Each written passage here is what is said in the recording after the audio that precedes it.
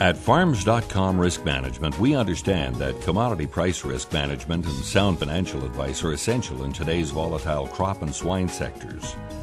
Visit our website at www.riskmanagement.farms.com. Welcome to the Farms.com weekly crop report. This is Moe Agostino, managing commodity strategist with Farms.com Risk Management. Uh, well, this week uh, we got uh, corn's not quite closed here. The grains are not closed, but uh, we got corn maybe up a penny for the week. Uh, uh, the many analysts and, and, traders would like to see a week over week gain.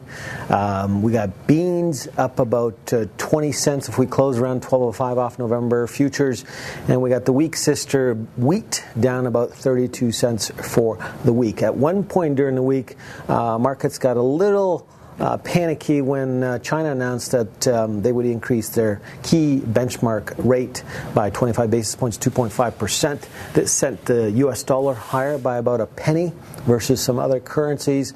But that was a one day event. It was an overreaction to concerns that maybe China is trying to slow down that uh, engine of growth.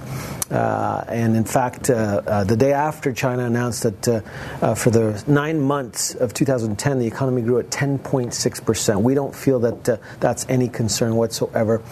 now, the, the, the, that same US dollar that was up a penny is now down a penny since that happened, and uh, grain prices have come back slightly. Uh, we'll need more information. Uh, the beans are actually taking the lead here. Why exports, exports, exports? The the soybeans, U.S. soybeans to China are relentless in other countries. Almost every day we make an announcement. So looks like beans want to go higher. Corn will have to go. There's going to be a shortage of acres in 2011 with cotton and multi-year highs, um, and wheat will eventually. Mm, it'll, it'll try to keep up, but it's going to lag badly. Until next week, thanks for watching. Take care.